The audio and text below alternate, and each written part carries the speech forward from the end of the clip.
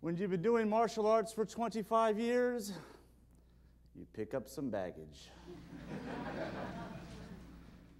baggage is human nature. Where do we get our baggage? There's a lot of psychologists here to probably answer that for you. When you have a lot of baggage, it makes it hard to move quick, makes it hard to jump, makes it hard to climb the ladder, makes it hard to take advantage of opportunities because you're weighed down with all this baggage. Our goal is to help you free yourself of this baggage. What is baggage?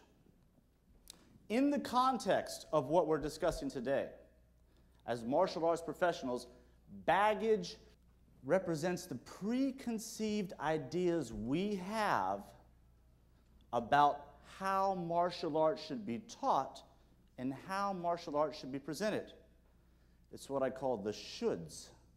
Shoulds are very dangerous. Rational psychologists will tell you that should is one of the most negative words you can use.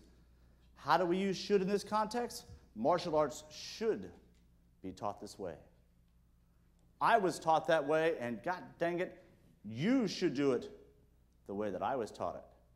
That's irrational because I have some news for you. The world does not revolve around your shoulds. Don't should all over yourself. it holds you back, it creates.